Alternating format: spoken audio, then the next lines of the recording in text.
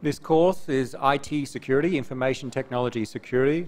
It's for, I think, all of you, uh, your first course that handles computer and network security. Uh, so what we'll do is, to get started, introduce what we mean by computer and network security. And this lecture will be uh, introducing some terminology, some notations, some concepts that we will, we will use and see applied through the, the subsequent topics in the rest of the semester. So quite a light introduction to security. Computer security covers many different topics and because we only have one semester I select uh, uh, just a subset of the topics that we can cover. Um, so if you want to get more details about cryptography and the theory behind computer security, you won't get that in this course, but I do teach the security and cryptography course as well on Monday morning. So feel free to join that if you want some more theory on computer security.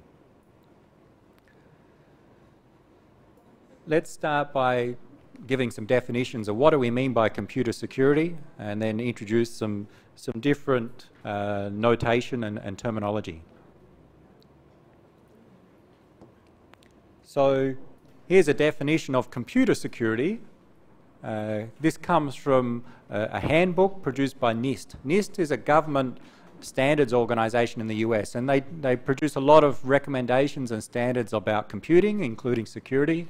And they say computer security is the protection afforded to an automated information system, an automated information system like a, a computer system, in order to obtain the applicable objectives of preserving, so we have some ob objectives here as we go through, to attain some objectives of preserving the integrity, availability and confidentiality of the information system resources. So a computer system or a generally an information system has a set of resources, data, hardware, software, and computer security is about trying to protect those, that information system such that we meet the objectives of preserving integrity, availability, and confidentiality. And those are three key concepts of computer security. Integrity is in making sure that those resources are not modified in an inappropriate manner. For example, you have a file stored on your hard disk uh, to maintain the integrity of the file, you want to make sure that no one can modify that file without you knowing. Availability is making sure that those resources are available to the normal users. You're a company, you provide a, a network or a computer system for your users, and it's part of running the business. They need to access that computer system. That system needs to be available to the users. If due to some security attack it becomes unavailable, you can't access a website or a database server, then that's a problem. So that's what availability is about. Confidentiality, often we want to keep information secret. So we want to ensure that that data is kept secret. That's what confidentiality is about. So those are three key objectives that you'll see come up in other definitions and other discussions of computer security. Preserve integrity, availability, and confidentiality.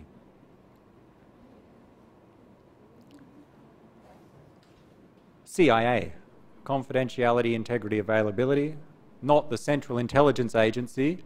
This is, so confidentiality a little bit more depth. Sometimes we think of it from two perspectives. We have some, the normal perspective of confidentiality is keeping things secret, keeping data secret. You have a file, only you should be able to access the contents of that file. So you may take some mechanism such that no one else can read the contents of the file. You keep it secret. Confidentiality. Or you send an email to some uh, destination or a set of destinations. You only want those specific people to be able to read the contents of that email. So data confidentiality is about providing that service so that only the authorized people can access the contents. But sometimes in confidentiality, we also talk about privacy. And privacy, sometimes it's mixed, the, the terminology, but here we'll talk about privacy as being keeping your actions secret, hiding your actions. So data confidentiality, confidentiality is about keeping your data secret, not letting unauthorized people access your data. Here we'll use privacy to mean keeping your actions secret. That is one thing that you may be aware of, what websites you access, keeping the, the set of websites that you've accessed, not just the data that you've downloaded, but the URLs you've accessed, when, how often, keeping that information secret is one example of privacy. And often privacy and data confidentiality are grouped generally as confidentiality. So we need to look at, in this course, some techniques for providing confidentiality. We often want to provide that. How do we do that? Anyone know how to provide confidentiality of data? You have a file, you don't want others to see the contents of that file. What do you do with that file? Password. Password, you what? Put a password in the file? Lock the file. Lock the file. How do you lock the file? With a key or? Uh,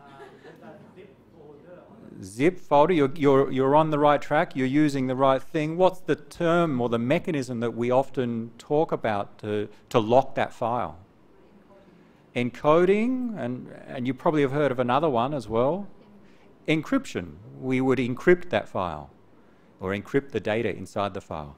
And yes, using software like Zip often has an option to allow you to encrypt the contents, but there are other ways as well. Encryption takes the data, transforms that data, usually using some secret key like a password, and transforms the data such that once you have that transformed version, the encrypted version, you can only get back to the original data if you have the correct key. You can only decrypt if you have the key. So if you don't have the key, you cannot decrypt, and unauthorized people, assuming they don't have the key, cannot, cannot access the data. So we'll talk a lot about encryption and how we can provide data confidentiality with encryption. What about privacy? How do you, what are some mechanisms you can use to stop people knowing what websites you access, how often you access them, what times of day you access them? delete the history. Your web browser keeps a record of the, the web sites, the URLs that you access. So if someone accesses your computer, they can obtain that information. What else? So that's only if people access your computer. But when you access websites, the, the packets that are being sent between your computer and the web server are going via many intermediate devices and they may keep a record of which websites you're accessing. Your ISP, Internet Service Provider, may record what websites you're accessing, when. So we need to look at other ways. How could we hide that information from other users? And we'll talk about, towards the end of the semester, we'll look at different aspects of web security, virtual private networks, and related techniques for privacy. Integrity is about data integrity, making sure that the data is only changed in an authorized manner. For example, like I said before, you have a file stored on your server, and if someone can access the server and modify the file without you knowing, then our data integrity has failed. We want to prevent that. We don't want changes to happen without uh, or in an unauthorized way. And system integrity is not so much related to the, the data, the files we store, but the computer system, the hardware and software, make sure it performs what it's, it does what it's supposed to do. For example, if we have a, our computer system infected with a virus or some malicious software, then your software that you normally use, Microsoft Word, for example, may if it's compromised, may do some unexpected things on your computer. So we'd like to maintain the integrity of the system. The software and the hardware is not compromised. So it doesn't perform in an unauthorized manner. How do we, for data integrity, how do we ensure that a file is not modified without us noticing? Or maybe a simple example, an email. I send an email to you. How are you sure that the email that you receive is exactly the same as the email I sent? We know we send it across the, an internet. How can we check at the receiver that the data that I sent you has not been modified? Any ideas? You may have heard of, you, you do it in, in, in hard copies, we consign the document. Okay, we can use what's called a digital signature. There are techniques using cryptography that allow you, before you send the email, you attach a digital signature to that email, send it to the recipient, and the recipient can verify if the message received is being modified or not. So the digital signature is one technique that we'll look at in the next topic and we'll see it applied in related technologies in, in later topics for ensuring that data is not modified along the way, not modified without uh, authorization, and some other techniques. Availability, we have a computer system, databases, a network, a servers, and the normal users access that computer system. Availability is making sure that they can access it as intended. And a simple example of an attack on availability, and you would have heard of the term, is a DOS or a denial of service attack. A denial of service attack is when some uh, malicious user really overloads that server, uh, network, or resource such that the normal users can't access it. So that's an attack on the availability of our computer system. And over the last few weeks, if you follow the, some technology news, you'll see some of the groups like Anonymous do denial of service attacks on, on gaming systems like uh, uh, the PlayStation or Xbox network. They try and overload the servers so that the normal users cannot access them in the intended manner. So in one of our topics, we'll look at denial of service attacks, how they work, and some options for uh, trying to protect against denial of service attacks. So be aware of the three key security objectives, confidentiality, integrity and availability. Now some people add others on. So two other common ones, authenticity. Checking that the data that you receive is authentic or the person who sent it to you is authentic. And the simple example there is that you receive an email from Steve. How are you sure it's from me, not someone pretending to be me? So we need authentication such that the receiver can confirm, yes, this email did come from Steve, it didn't come from a student pretending to be me. So that's one aspect of authentication. And we'll look at techniques for how to authenticate people and data. And accountability is keeping track of things that happen so that we can be sure that uh, uh, events that have taken place cannot be denied and we can log and, and detect attacks when they're, attacking, when they're taking place and take action afterwards to recover. So usually accountability, accountability involves keeping a log of what's happened in the past usually often using some uh, encryption techniques. One example is listed here, it's called non-repudiation. And non-repudiation is the, the service of saying, preventing people from denying that something's happened. That is, you across the internet, you send money to someone to pay for a service. What you want to do is to make sure that when they receive the money electronically, they cannot deny that they've received the money. You would like to have some method to be sure that if they receive the money, they later cannot come back and say, I didn't get the money, you didn't pay. So non-repudiation is an example of holding the users accountable for what's, what's uh, taken place, and it's one method of doing that is having some form of digital receipt. And there's some other uh, features that fall within accountability. We'll talk in one subject about intrusion detection. Uh, we will not talk in this course uh, any details about legal actions, but with an organisation, if an attack does take place that tries to compromise the confidentiality, integrity, availability of the system, often some actions have to be taken after the fact to recover and possibly take some legal actions to, against the attackers. So keeping records of what's happened is useful for that. We're going to focus mainly on how do we provide confidentiality, integrity and availability in computer systems. We spend uh, 15 weeks on computer security and, and don't get to cover many details because computer security is hard. It's hard to ensure a computer system is truly secure. There are many different challenges. And this just lists some of the key challenges that, are, that arise when we're trying to secure a computer system.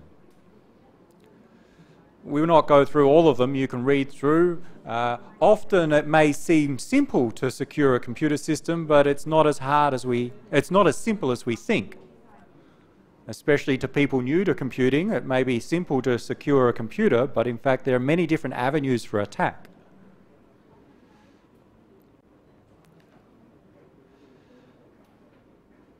Uh, often some of the security techniques that we use to provide uh, the, the, the services are not as we expect. We say they're counterintuitive. So that makes it hard for users that have to use these systems to, to adapt. Uh, what else can we say here?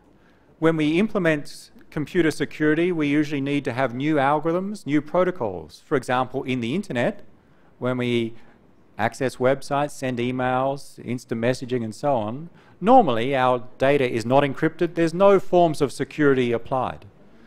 The Internet Protocol, TCP, HTTP did not have any built-in security mechanisms. New protocols have been created, like add-ons, to add the security features. So with IP, there was IPsec added. With TCP, there was TLS added. With HTTP, HTTPS was the extension. And these new protocols add complexity and may even degrade the performance. So that's challenging to provide the security while also uh, keeping things simple and making them perform well. Another problem with computer security is the attackers only need to find one flaw in your system to get access. If there's one hole or weakness in your laptop that they can remotely access, then they can compromise that laptop. Whereas to defend, the people developing software developing the systems need to try and find all the weaknesses and, and fix them before they, say, release the software or, or deploy the system. For example, you're creating a new piece of software.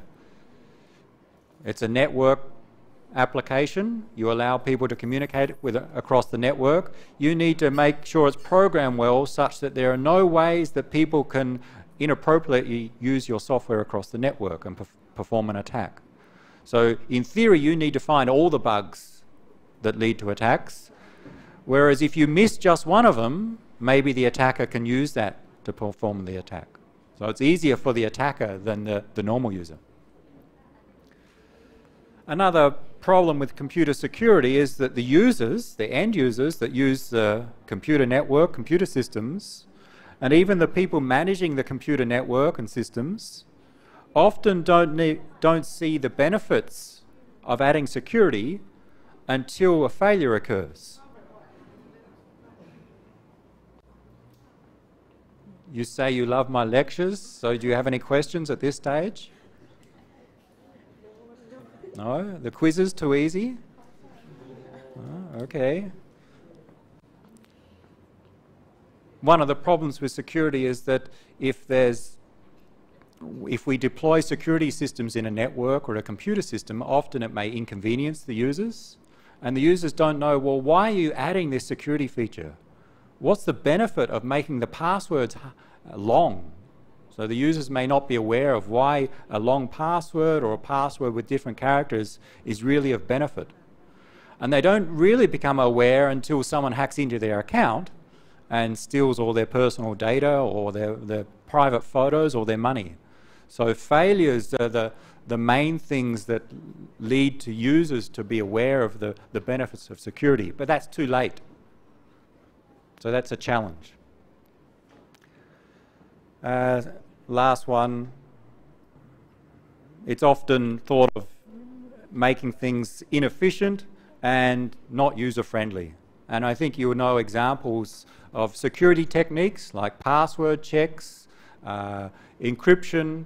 Often it's hard to use, it makes the normal system harder to use, and it may slow it down. So that's a, a challenge to convince people to accept those impediments to keep a system secure. So we'll see examples of these, uh, and I think you're aware of some as we go through the course. So let's keep going and introduce some terminology about uh, some different concepts of computer security.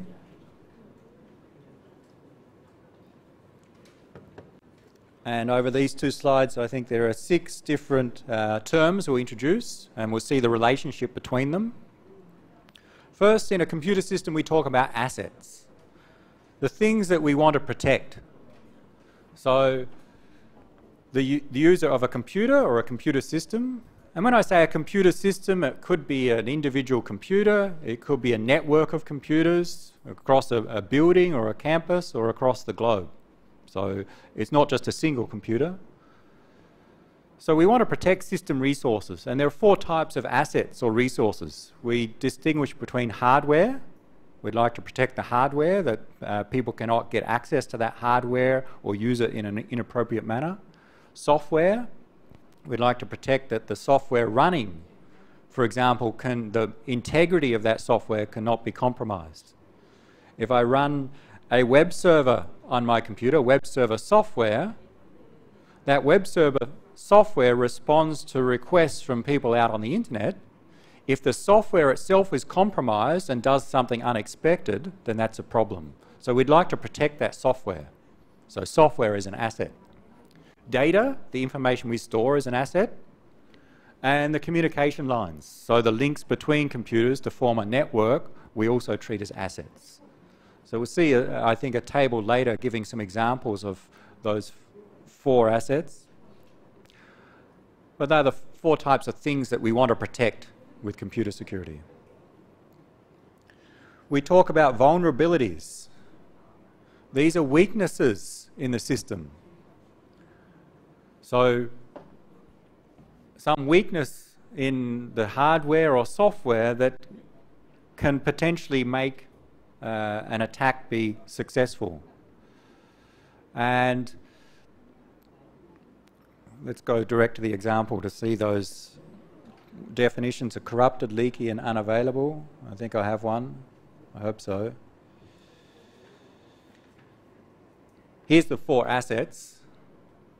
Actually, no, I'll go back. We'll go through the terms and then give the example. So, corrupted, leaky, and unavailable.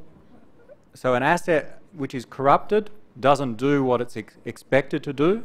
For example, software which is corrupted, the software doesn't do uh, what it was in programmed to do. That's a problem. Leaky means that that asset reveals information. It leaks out information, and that compromises the confidentiality. So if we talk about our communications line and we say there's a vulnerability in the communication line such that it leaks information, then that's a potential problem.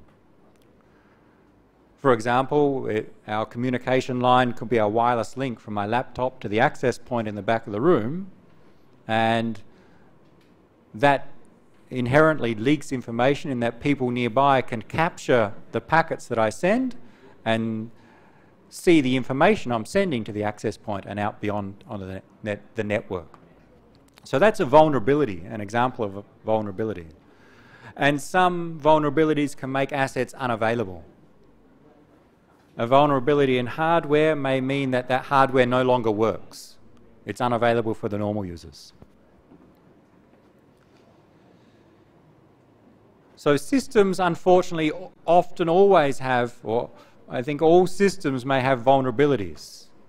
Vulnerabilities arise because it's complex in creating those systems. Complex to write software without bugs, complex to build hardware without flaws, uh, complex to keep track of data. So there are often vulnerabilities. It's hard to avoid them. We'll talk about a security policy. An organization, a university, a company, your, your in your side your home, you may have a security policy. And the policy is a set of rules and practices that specify how the system provides the security services. So how do we protect the assets? So we define a set of rules to do that. A simple example is with SIT, an educational institution, we have policies for who can access student data. So this is about confidentiality. Uh, for example, can you access the grades of other students? No, a student cannot access the grades of other students. That's a policy, that's a rule that we try to implement. One student should not be able to see the grades of other students. Another policy may be a faculty member can only see the grades of the students they teach or the students they advise. They cannot see the grades or the, the contact information of every student. So there are a set of policies that we have to run the business. And the security policies, they define those rules, and then we will use techniques to try to implement those policies. How do we make it such that a student cannot access the, the grades of another student?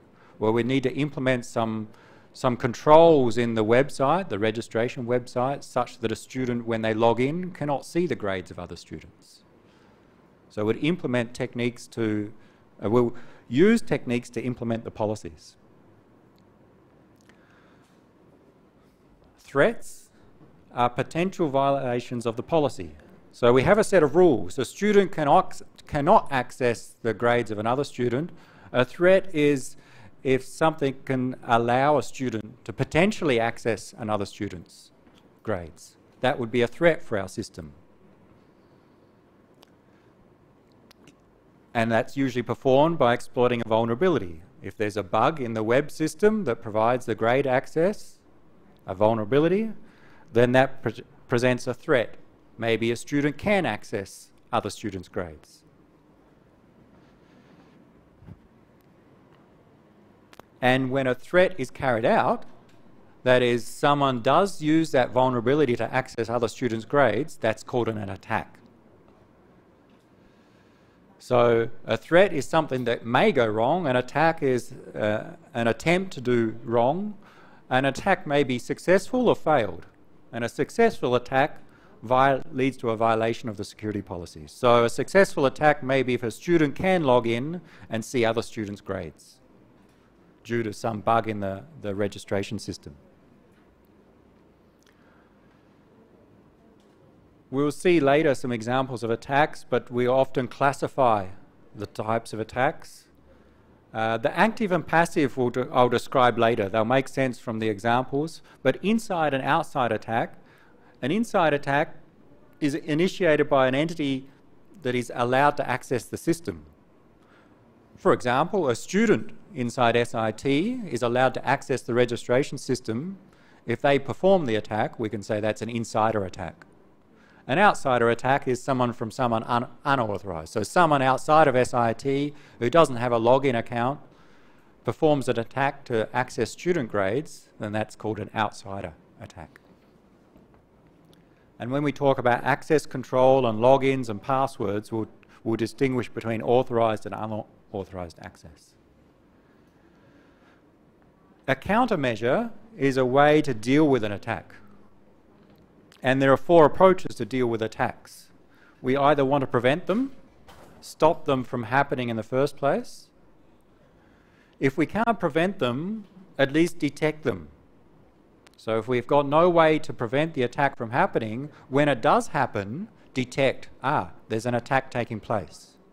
And if we can detect, we can respond. Maybe we can close down the system temporarily and eventually recover, restore data from backups and so on. So countermeasures are ways to deal with an attack. Unfortunately, even if we have countermeasures, then vulnerabilities still may exist, leading to risk to assets. So our assets are the things we want to protect. Because of the threats, there are risks to those assets. And our aim in computer security is to minimize the risks.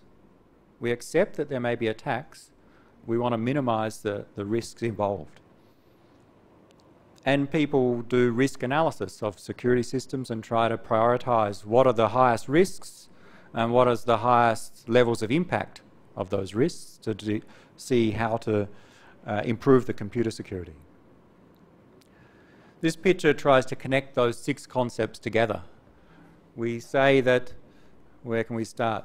The owners of the computer system, of the, the network, the data, want to minimize the risk involved. So what they do is they use countermeasures, they impose countermeasures to try to minimize the risk. There are threat agents. Threat agents are entities that may initiate threats and perform attacks. So they give rise to threats, and threats increase the risk, the threat agents try to damage the assets, so we talk about the assets that we have, uh, because the assets have value to it, the owner of the system. We want to protect the assets, the threats uh, on the assets, and can lead to attacks.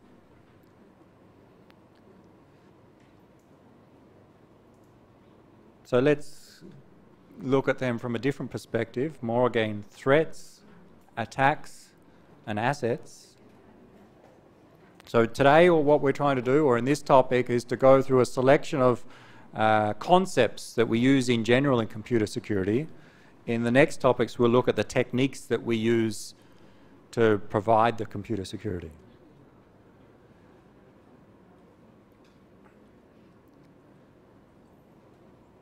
Here's a different classification focusing on threats and looking at the consequences of uh, threats and attacks. So we distinguish between a threat in here, different notation. A threat action is called an attack. A threat agent is someone that performs an attack or is a threat to the system. So the other name for a threat agent may be the attacker, uh, an adversary, a malicious user. What's another name for a threat agent that you hear? What do you call someone who breaks into a computer system? what have you, what are they called? If you hear in the news someone broke into a computer system, what would you call them? A hacker. So sometimes we refer to the threat agent as the hacker. It's just that in some systems, or in the past, a hacker was used to refer to people who build things with computers and, and hardware, so not necessarily a malicious person. In this course, I'll usually just talk about an attacker or a malicious user. Note that in some cases, they don't need to be bad, the attacker. For example, it may be a legitimate operation to attack a computer system, like law enforcement, the police. They perform an attack on a system, they have the legal authority to do so, and they're doing it for good. So when we talk about the attacker, it doesn't necessarily mean they're a bad person. It's just saying that with respect to the computer system, they are the adversary trying to break the security. A threat consequence is the what goes wrong, what happens as a result of an action. So people have tried to give uh, definitions of these, and there's a what's called an Internet Security Glossary. You can find it from this link. There's a new version, and it classifies different types of threats and attacks as these sets of unauthorized disclosure, deception, disruption, and usurpation. And it goes through and gives details of them. And if you hopefully flick through a few slides, you'll see that document or a cut down version. Let me see if I record it.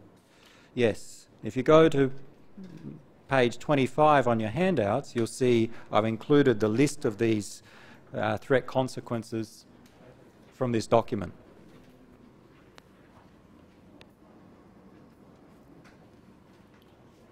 So I want you to read them. I will not read them all today. I will just highlight some of them and just explain what it's showing. It's really just classifying threats and attacks, giving them different names. So the first consequence is unauthorized disclosure. So it says a circumstance whereby an entity gains access to data which they're not authorized to do. So they get access to data when they're not authorized to do. What causes unauthorized disclosure? What actions cause this? Well, they classify the action of exposure and they give some examples really of exposure. Could be deliberate exposure. That is, someone gets access to the data and deliberately gives it to other people, publishes it on a website so that anyone can access. Uh, human error. Sometimes it may not be a malicious action. Maybe a normal user accesses a confidential document within, say, SIT, and then makes a mistake and makes that confidential document available to people outside. Due to some permissions problem or some human error, they send the email to the wrong destination. So that's an example of exposing information and leading to unauthorized disclosure. So what this document does is classifies the different consequences of threats, what can go wrong, and, and some actions that lead to those consequences. Interception is about uh, getting access to data as it moves between two points, usually across a network. We can intercept data in a Wi-Fi network, for example. When I send a packet from my laptop up to the access point, the nature of Wi-Fi is that packet signal is broadcast in all directions, and you can sit with your laptop and intercept, get a copy of that packet. So that's an example of interception. So you can do it in wireless networks, or you can physically access wired communication links and perform theft of data. So obtain, for example, the solutions to the exam or the exam questions as I send them across the network to someone to print. And you can do monitoring of systems called wiretapping. Emanations analysis is about looking at uh, the signals being sent and observing about who's communicating and what they may be doing.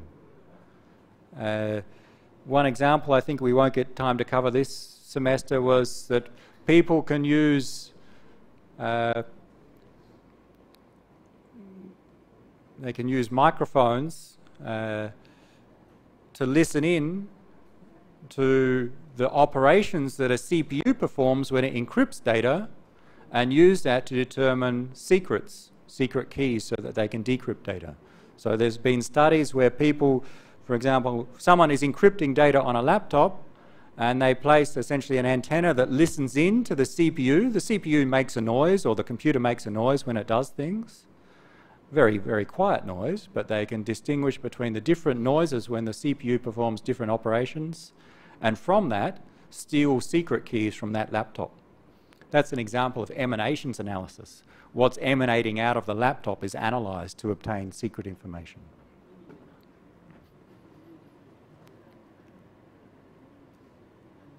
Have a read through the others. Then there's the threat consequence of deception, deceiving someone using false data or, or something uh, that people believe to be true. Masquerade means pretending to be someone else. Falsification, using false information, replacing valid data with false data. Repudiation is denying something's taken place. Deny the origin of the data or deny the reception of the data. So non-repudiation is the service of, of stopping that. Disrupting services, disrupting data, corrupting data, corruption.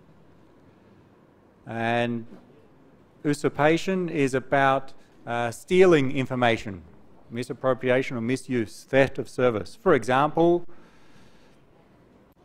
an example of theft of service is that you are not an SIT student or employee, but you sit outside, you work somewhere else, you sit outside and use the SIT internet access. You log in, you get it via some uh, floor, allows you to access the internet via SIT's Wi Fi.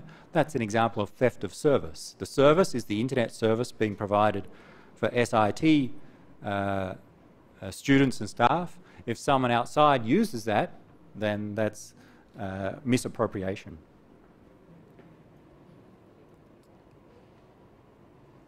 So some of the terms you may have heard of already. What I suggest really is just read through those and uh, you don't have to remember all of them, but be aware when they come up in, in the rest of the course what they mean.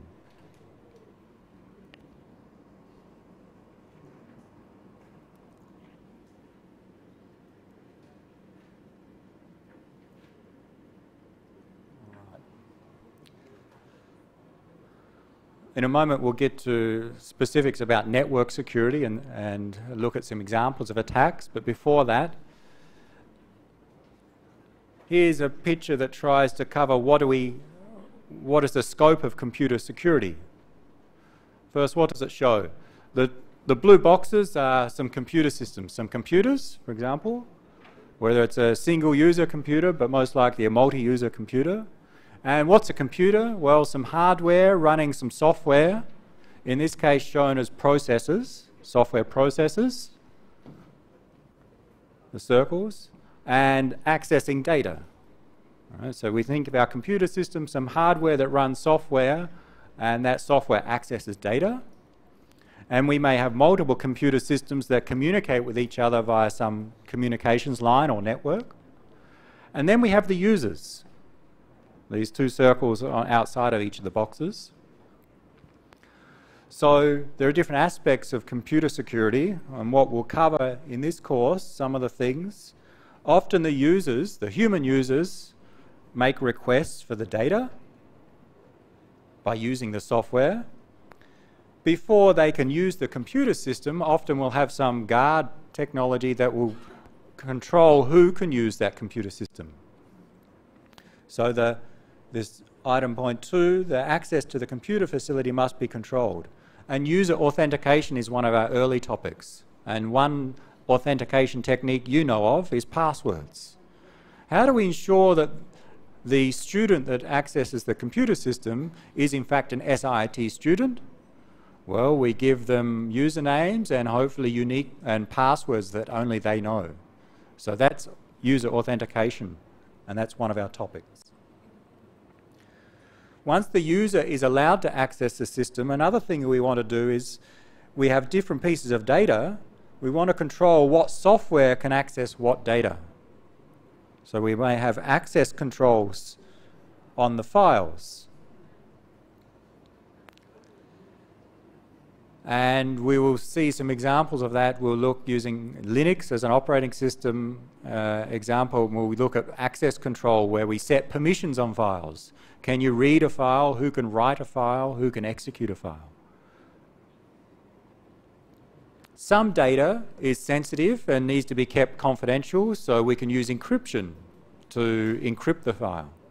So we'll look at some techniques for, or different encryption techniques. And when we send data between computer systems, we need to ensure that that data is securely transmitted. So we'll look at some aspects of network security. How do we encrypt data across networks? And how are we sure that who we're communicating is, is who they say they are? So there are four areas of computer security we'll look at in this course. The last one, before we look at network security, this just gives an example of the four assets and the three security concepts, our objectives of confidentiality, integrity, and availability. And examples of threats against those assets grouped by the uh, concepts. For examples, uh, let's not go through all of them. Our asset of data, like files that we want to protect, confidentiality, if someone can read the data when they're not supposed to, then that's a threat on that data. So a threat on the asset of data is someone can read the data when they're not supposed to. or analyze which files you're reading and accessing. That's a threat on confidentiality. A threat with respect to integrity is that someone can access the existing files and modify them without us knowing. So that modifies the integrity of the file. Or create new fi fake files. And the threat on the availability of that data is that the files may be deleted, denying normal users to access the files. So there are threats on the asset of data, and those threats can be against the, the services of confidentiality, integrity, and availability.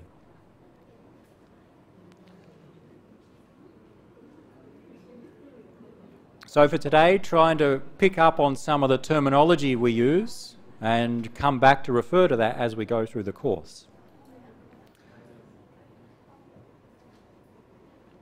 One aspect of security is network security.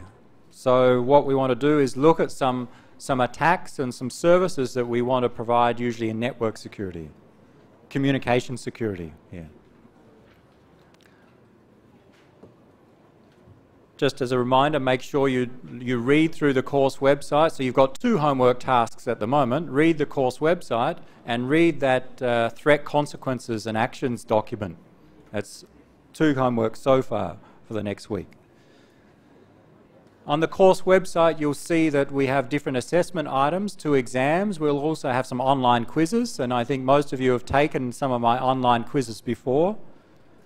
And in fact, a few students said that they were a bit easy last year, last semester. We'll address that in a moment. So with respect to communication security, there are different, different definitions of what it means. Uh, in this course, we don't care too much about where the definitions come from, but uh, an organisation called ITU has come up with a standard, very old now, and they defined or separated into attacks, mechanisms, and services. And that's what I want to focus on now. Talk about different attacks on networks. We will talk in this course about the mechanisms we have available to try and prevent the attacks and detect the attacks, and the set of services that we try to provide in network and communication server security. So let's go through in the next slides and look at attacks, mechanisms, and services. A security attack is some action that tries to compromise the security of our information or facilities. Right? We've mentioned attacks already. A mechanism is a, a method or technique for stopping the attack, preventing it if we can, detecting it if we can't prevent it, and if we detect it, to recover. One example of a security mechanism, mechanism is encrypting before we send the data across a network, we encrypt that data to try to prevent the attack of someone intercepting and releasing the contents. We will talk about and list six security services which use a, a selection of mechanisms to try to prevent the attacks, stop the attacks. So in the next slides, we'll go through some attacks and list some key security services.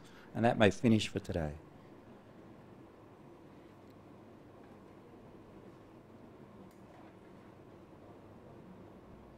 The, the security services, they, the ones that I'm using come from some different documents and some textbooks. Uh, they are listed there. But what is a security service? Well, we said that we have security policies, rules that the organisation tries to implement to keep things secure.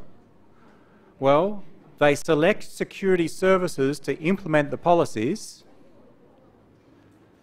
and the services are implemented by security mechanisms. So the policy, again, one student cannot access the grades of other students. We need to select from one of our upcoming security services to implement that policy. What security services? Well, here are the six key security services. And this is a, a good one to remember for quizzes. There's always questions. What is non-repudiation?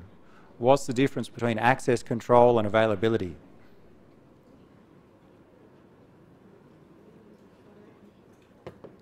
Let's go through the six security services. These are things that we commonly want to provide in network security and in general in computer security as well. And I'll go in a slightly different order. We'll go with the ones that are maybe easier to understand. Data confidentiality. We often want to make sure that the data is kept secret or confidential. So that's a security service. Protect unauthorized people from accessing the data. Data integrity. We often want to make sure that the data cannot be modified along the way. In a network especially, we send a message from A to B. We want to make sure that the message B received is exactly the same as what A sent. That someone in the middle didn't modify the message. So data integrity is about ensuring that the data received is exactly the same as what was sent by an authorized entity. Authentication up the top is about ensuring that the people we're communicating with are who they say they are. You receive a message from someone, you want to make sure that the source is the right person who they're saying they are. They're authentic. We will look at techniques for providing data confidentiality, data integrity, and authentication. And the techniques are built on cryptography. So the next topic is cryptography and it introduce encryption and other cryptographic techniques which are used primarily for data confidentiality, integrity, and authentication. The other services, access control is about preventing unauthorized use of a resource. And two examples we'll see in this course. One is firewalls. A firewall is a device in the network that controls who can access into a network and also maybe who from inside the network can access out and what they can access. You may know in, in SIT we have a firewall um, and one thing that that firewall is configured to do, we have some internal servers in SIT, database servers for finance department and staff to use just inside SIT. So the firewall is set up that is if anyone outside of the SIT network tries to access one of those internal servers, they are blocked from doing so. So that firewall provides network access control. It may also be configured to stop internal users from accessing outside resources. For example, stop all students from accessing Facebook. So the firewall could be implemented to do that. So that's access control. The other form of access control we'll see an example of is access control on files on a computer many computers nowadays are multi-user systems. There's not just a single user that uses the computer, there are multiple people that use the same computer. So when multiple users use the same computer, we want to control who can access which files. You shouldn't be able to access anyone else's files. And some of you may have logged into the ICT server. You have accounts on the ICT server. And access control is used to ensure that one student cannot access the files of other students. We'll look at how that can be done. The last two services. Availability, making sure the system is available and usable. The best way to think of that is from the attack perspective, a denial of service attack is making a system unavailable. And non-repudiation, I've mentioned before, is protecting against people denying something took place. Two main things in the network, protect against people denying that they've sent a message and that denying that they've received a message. So that's what non-repudiation is about. In different computer systems and networks, we may select from these services to try to implement. Sometimes we don't care about all of them. So we'd select the services that we want to provide to our users from that set. And then for those, we'd use different mechanisms. So the last thing for today, I think, is to look at some or some classification of attacks on communication lines or in networks in general. And we'll go through six types of attacks then they're grouped into two sets. So there are two attacks which are considered passive attacks, and then four attacks considered active attacks. So there are six attacks in total. Two will be passive, four active. I will not explain passive or active until after we've gone through some of the attacks. So let's look at the attacks of release message contents, traffic analysis, and the four down the bottom. And then we'll compare passive versus active.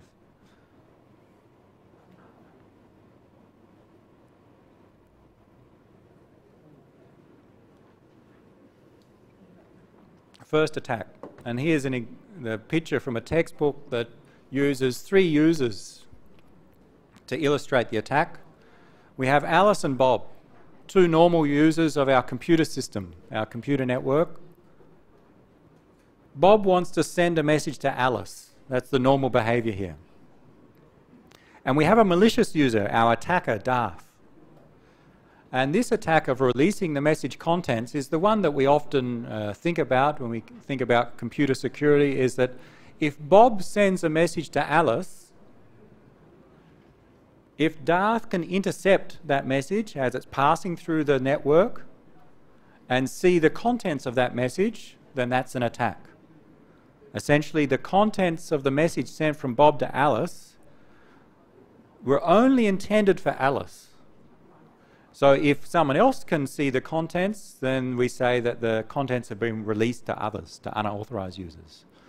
A simple example of where that can happen, I've used before, is when I send something using Wi Fi on my laptop, I send it to a web server in the US, then that the packets containing that information go from my laptop wirelessly up to the access point on the back of the classroom, follows some cables down to the third floor and to the computer center, and then goes out through our internet service provider to some routers, and it goes probably up to maybe up to Tokyo, then across the Pacific Ocean to the US. So my packets containing the data travel through many links to get to the destination. And an attack of releasing the me message contents involves someone on any one of those links or the devices in between accessing those packets and reading those packets. A simple one that you can perform is when I send packets to the access point, you can use your laptop to, to wirelessly capture those packets and, and see the packet that I've sent. Or if you're a little bit more devious, maybe what you could do while I'm not in the room, you'd plug a special device into that access point where the cable goes in and then plug it into your laptop such that every packet that goes to that access point is also sent to your laptop. It would be hard for someone to see that. You would hard to see the cable there. And that could intercept all the packets going via that access point. So if you can access via the wireless network or get physical access to a wired network, you can intercept messages sent, sent through the network. And that's what it would involve Darth doing. How do we stop that? How does Bob keep his message content, content secret before Alice gets it? What do we use? Encryption. You, you use it on a regular basis. When you use HTTPS to access a website, what happens is your web browser encrypts the data before it sends to the web server. So even though someone may intercept on that access point, all they see is the encrypted form of your data, and they need the key to decrypt it. And if it's set up correctly, they should not be able to find the key. So what we'll see is encryption is a key part or a key technique for preventing this attack. Encrypt the data before you send it. If we do encrypt the data, there still may be attacks possible. And one is traffic analysis. Let's say the message that Bob sent to Alice. Alice and Darth are married, okay? Husband and wife, Darth and Alice. Bob is not married to Alice, but was sending messages, love messages, late at night. So what Darth is trying to do is intercept and see whether his wife is having an affair with, with Bob. And if Bob doesn't encrypt his messages, then it's very easy for Darth to intercept and see that. Now, let's say Bob's smart and he does encrypt his messages. And he's still sending his love messages to Alice late at night. So traffic analysis is about Darth, our attacker here, not reading the contents of the messages, but analyzing the frequency of the messages, the time of day, the size of the messages, and inferring from that information what's happening. So maybe Darth can intercept the messages. All he sees is encrypted messages. But what he sees is at uh, 11 p.m. on a Friday night, Bob is sending many messages to Alice when he shouldn't be. And from that, Darth may infer that something, something's gone wrong. So traffic analysis is about analyzing the patterns of communications, not looking at the data, but how often people communicate, when, and with who as well. Another example may be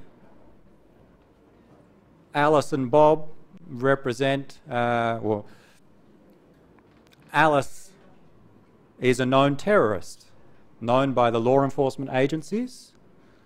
And the law enforcement agencies, Darth, are monitoring the communications to that terrorist. And the, encrypt- the data is encrypted that's going between Bob and Alice.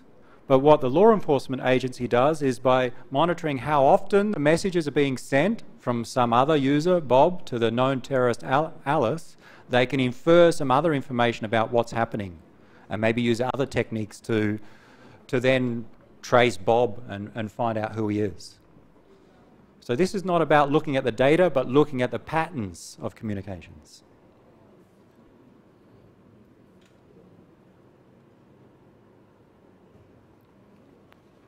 Any questions so far on our first two types of attacks? Releasing message contents and traffic analysis.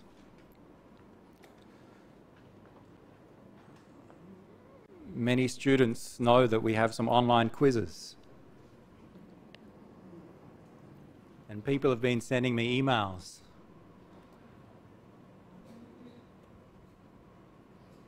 Let's see.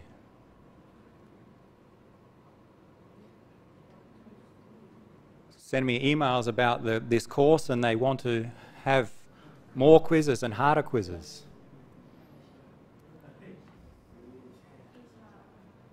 So that means that we should have harder quizzes maybe. So quizzes were too easy last semester and some students were copying. This is reported from a student, okay? So other students are reporting who's, who's copying. Who, who sent this email?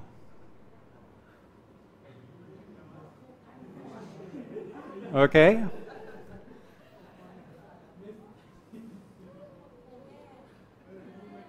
Who sent this email? Just then. 1148. Okay, so that means I should make the quizzes harder.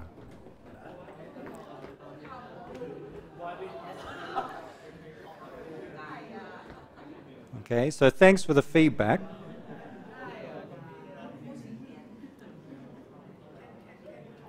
What's happened? Did you send the email just one minute ago? No. This is a masquerade attack. The next type of attack is where someone pretends to be someone else. Here, I have received an email, and the from address of those emails indicates it's from some of the students in this class. But if you ask those students, they didn't send those emails. It was someone pretending to be those students. And the point here is that with email, it's very easy to pretend to be someone else by changing the from address. So what actually happened is I, using a different account, sent the email to myself, but I set the from address of the sent me messages to match that of some of the students. So it looks like it's from some of our students, but in fact it's from someone else. Emails are easy it's easy to set fake source addresses for emails. So you can't trust the from address. And that's an example of a masquerade attack, to pretend to be someone else, masquerade. So in this case, uh, Alice is the normal user, a different case. Alice, Bob is the, the director of the company. He's the boss, and Alice is the finance officer. She uh, determines or she uh, sets how much everyone gets paid every month. And what happens is each month Bob sends a message to Alice saying who gets a pay rise and who doesn't. And what Darth does, one uh, employee, employee, he sends a message to Alice saying, please increase the salary of Darth by 10,000 baht, signed by Bob.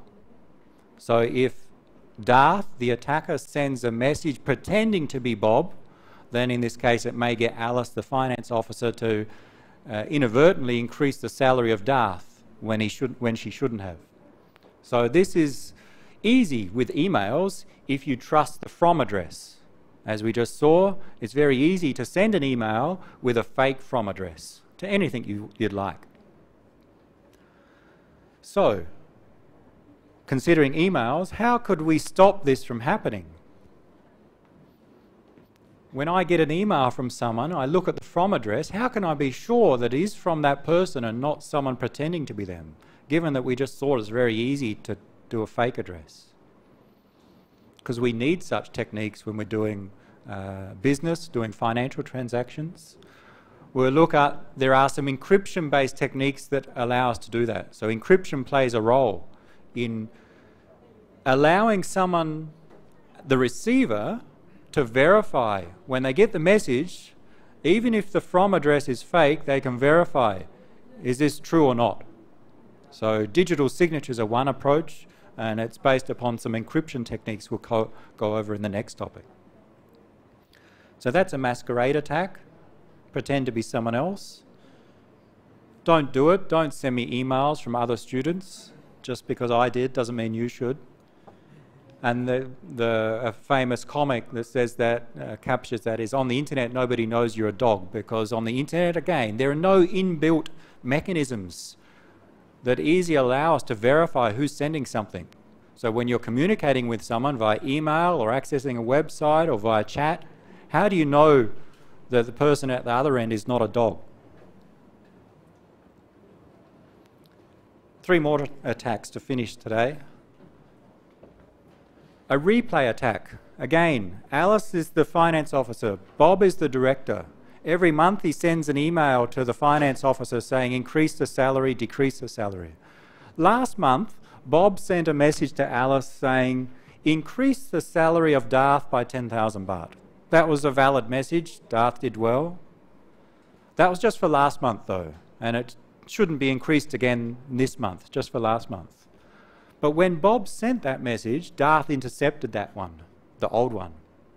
And he recorded a copy of that message.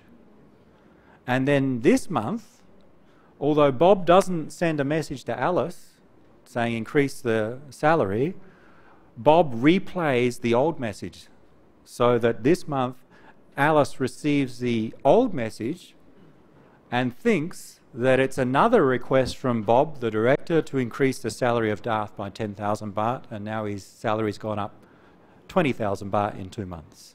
So a replay attack involves an attacker recording a copy of an old message and then resending it to perform some harm. How could we prevent such an attack or detect an attack? How could Alice detect that this message is a replay of the old message? What would Alice need to do to do that? To know that this is the, this is the same as the old message. You're going to need to implement these mechanisms. What would you do?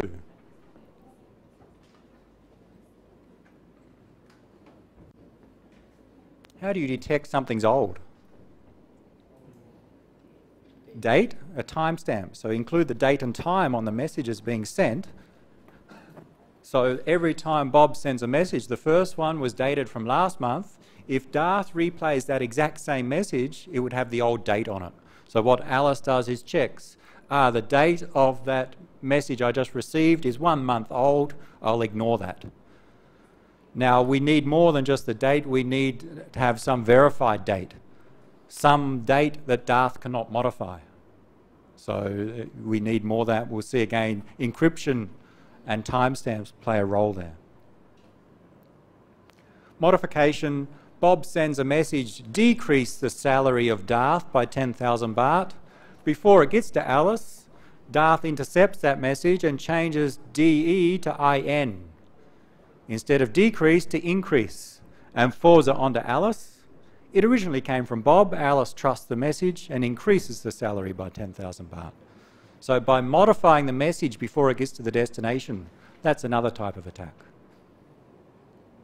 Again, we need some way that the receiver can verify that the message we got came from the right person and hasn't been modified. Denial of service, there's no Alice in this case. We have a server, a web server, for example, which Bob normally accesses to get his job done. But Darth is overloading that server, maybe sending many packets to the server so that the server slows down and eventually cannot respond to Darth's requests. This is a denial of service attack in that Bob is denied access to the normal server and that's inconvenient or causes problems for Bob. And denial of service attacks we'll look at in one topic. It turns out in uh, in a number of cases very hard to stop okay, or very easy to perform from the attacker's perspective. We have a topic on denial of service attacks. We listed six security services, authentication, data integrity, uh, data confidentiality, access control, availability, and non-repudiation. Remember those six. We've gone through six types of attacks. And maybe tomorrow we'll talk about the difference between passive and active. But how do we stop the attacks? We use security mechanisms. And there are many different types of security mechanisms, but importantly, most of them use cryptography. So our next topic, we'll cover cryptography and we'll talk about encryption or encipherment, digital signatures, authentication exchanges, and so on in cryptography.